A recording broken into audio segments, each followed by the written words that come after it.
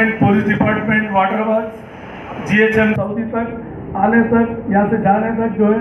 फिर हम लोग भी शफील्ला साहब, हमारे सीओ साहब मैं हमारे मेंबर्स भी जो है, रात दिन काम कर रहे हैं अपन। और इन लोगों के लिए भी आप दुआ करिए। और सबसे पहली बात, आप लोगों से गुजारिश करूँगा कि फ़ोन यूज़ मत करिए आप लोग। शाम में अपनी फैमिली से जो भी टाइम मिला, बात कर लीजिए।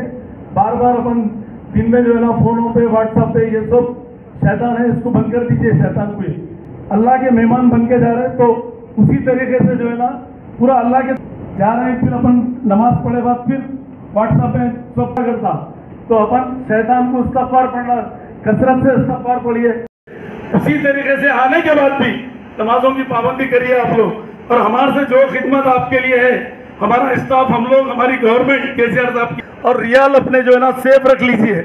और वहाँ पर बेकार के जज्बात में आके एक दूसरे की नमाज़ अपन जो सूर्य पढ़ने आता, अपने को पढ़िए आप। पढ़ के दुआ करिए। तवाफ ले। तवाफ के टाइम सही के टाइम बहुत सारे लोग क्या करते हैं? वीडियो निकालते अपन फैमिली को बताने, बिल्कुल गलत है। ये भी जो दुआ करे, बराबर कबूल होती। अल्लाह के दरबार में कोई कमी नहीं है। आप बिल्कुल दुआ करिए, बराबर दुआ कबूल होती।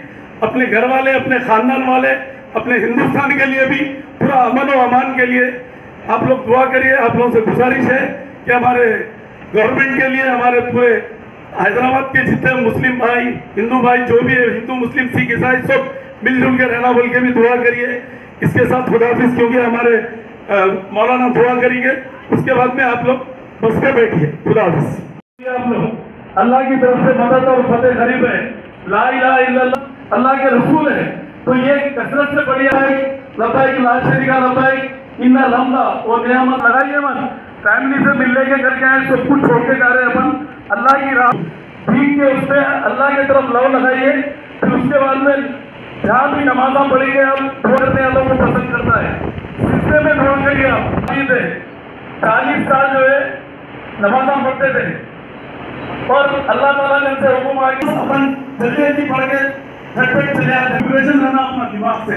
तो उसी तरीके से आप लोग से मेरी रिक्वेस्ट है, क्योंकि बड़ी दौलत है। मौला ये जगह सर अम्बिया की सरजमीन है। अल्लाह हमारे नबी सल्लल्लाहु अलैहि वसल्लम की पैदाइश और जवानी की जह सरजमीन है।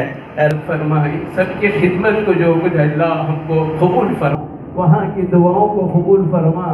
ए रब करीम, ये जो कुछ भी हजाज किराम की खिदमत में ये अमला लगा हुआ है, जनाब जोकिन सलीम साहब, उनके तमाम जो है आवान अंसार वहाँ सफ़र की सऊबतों परेशानियों से हर हाजी की हिफाजत फरमा बीमारियों से हिफाजत फरमा वबाओं से हिफाजत फरमा बलाओं से हाल में लौटा कि आप कह रहे हो जाओ मैंने तुमको बख्श दिया और मैंने तुमको गनी बना दिया। अब इज़्ज़त अम्मा सिफोन वसलाम मुरसलीन वल्हम्दुलिल्लाहि रब्बिल आलमीन।